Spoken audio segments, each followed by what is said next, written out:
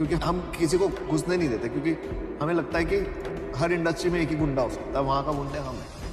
Shark tank India जो एक बहुत ही पॉपुलर टीवी शो है, जहाँ ऑन्टरप्रेन्योर्स को इन्वेस्टमेंट मिलती है on the basis of the business model and उसी शो में हैमर ब्रांड के ओनर रोहित नंदवानी भी आए थे।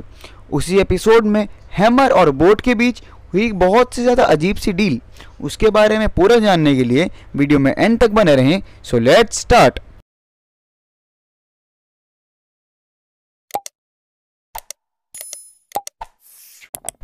तो सुनो, बात है कुछ ऐसी। हैमर जो है, वो एक ऑडियो हेडफोन ब्रांड है, जिसकी प्राइसिंग और गैजेट्स कुछ थोड़े बहुत सिमिलर हैं बोट के साथ।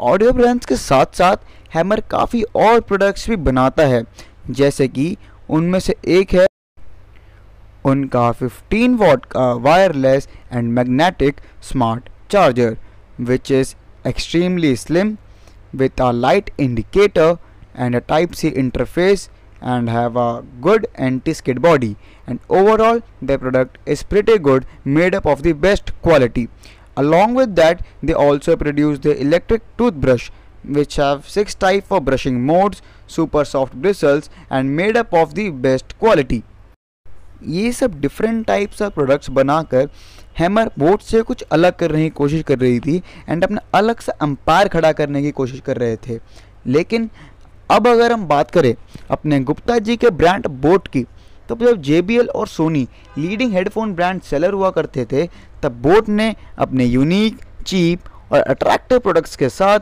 अपना मार्केट बिल्ड करना शुरू करा था।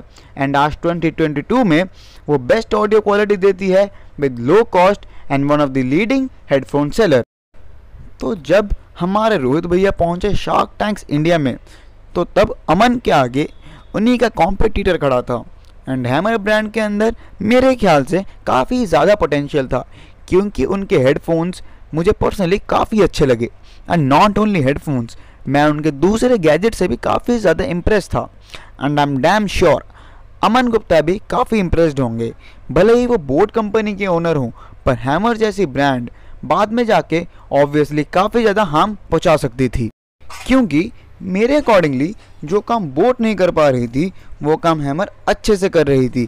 By providing more comfort headphones and अपने स्मार्ट वॉचेस के अंदर ब्लूटूथ कॉलिंग फीचर प्रोवाइड करना along with smart chargers and at the minimum cost possible and उनकी स्केल्स भी ओवरऑल अच्छी ही थी। Not as good as Boat obviously but इतने कॉम्पिटिशन के बाद भी they were doing bit unique and they were progressing day by day so in the end Aman Gupta ने भी हैमर को एज अ वाइटल कॉम्पिटिशन देखा and उस वक्त उन्होंने काफ़ी अच्छा डिसीज़न लिया and he offered one crore rupees सजवाइंग is whole company and Rohit ji तो अपनी कंपनी बेचने को तैयार ही हो गए थे बट इन द एंड कुछ नेगोशिएशंस के बाद उन्होंने अपनी कंपनी के 40 परसेंट स्टेक बोट के नाम कर दिए for one crore rupees and I think it is a complete win for Boat as a company and इतनी अच्छी डील के बाद मैं तो रोहित सर को यही कहना चाहूँगा कि छोटी बच्ची हो क्या?